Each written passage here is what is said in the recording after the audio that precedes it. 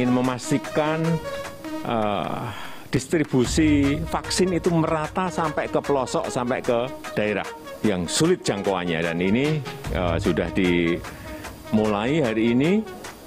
Nanti setiap hari 100 orang, 100 orang, 100 orang di Kecamatan Kau yang penduduknya kurang lebih 9.400 dan uh, sudah dimulai untuk pelayan dan petugas publik dan juga petani dan pedagang pasar. Saya kira uh, kalau semua daerah bisa menggerakkan seperti ini sampai di tempat terpencil, saya kira apa, penyebaran COVID dan laju penyebarannya bisa kita uh, kurangi dan kita hentikan.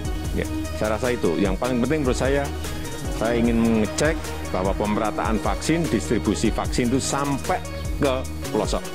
Thank you.